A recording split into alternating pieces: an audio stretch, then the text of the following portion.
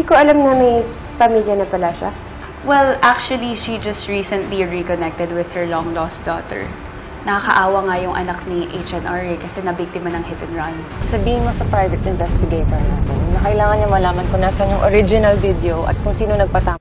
Naiinis na nga itong si Christy kay Hana dahil may kasunduan sila ni Leon. Pero si Hana ay nagdesisyon ng sarili niya. Kaya nga pangaasar naman ni Hana kay Christy na hindi niya alam na kailangan pa palang magpaalam gayong siya naman ang tunay na ina ni Billy.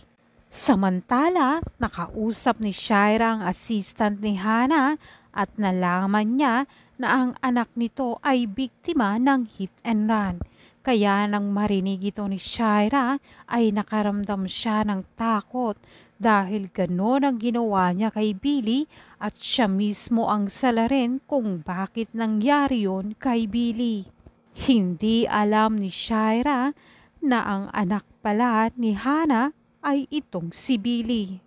Kaya lagot na nga itong si Shaira dahil nagsimula na ang pag-iimbestiga nitong si Hana.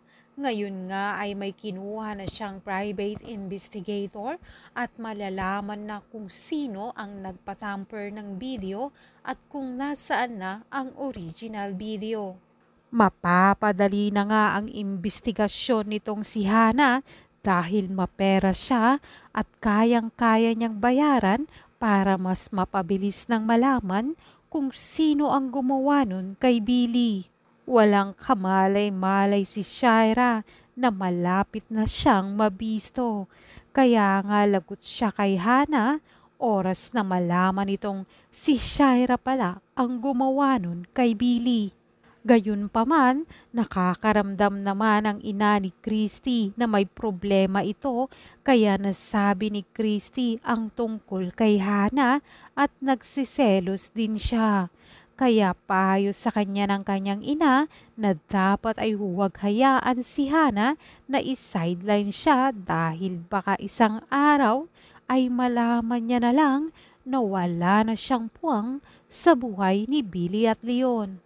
Kaya sa pagkakataong ito naman ay hindi papayag si Christy na mawala siya sa buhay ni Leon at Billy at ipaglalaban niya rin ang karapatan niya dahil si Leon na ang mapapangasawa niya.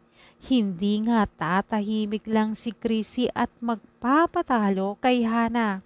Gagawa rin siya ng paraan kung paanong maaalagaan itong si Billy at si Leon.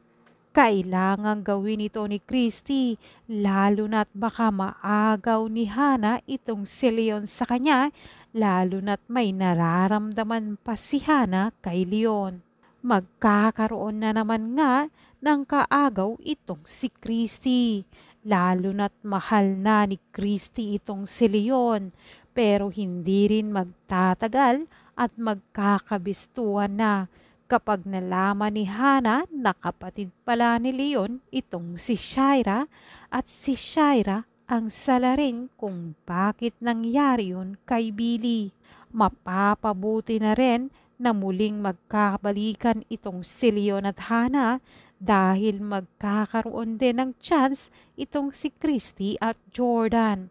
Dahil kapag nalaman na rin ni Christy na magkapatid si Leon at Shaira, magagalit rin ito kay Leon. Ganon din si Jordan kapag nalaman niya na ang totoo na niloko siya ni Shaira, pwede na ulit sila ni Christy at mabubuo na rin ang kanilang pamilya.